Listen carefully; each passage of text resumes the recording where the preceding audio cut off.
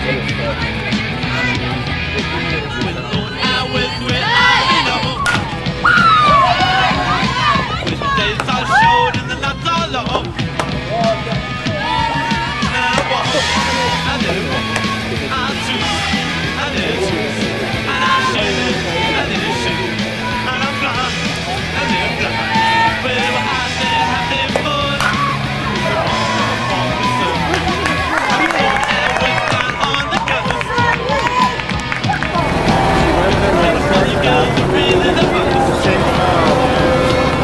a couple of weeks at Hammond. Uh, Still hobbling around.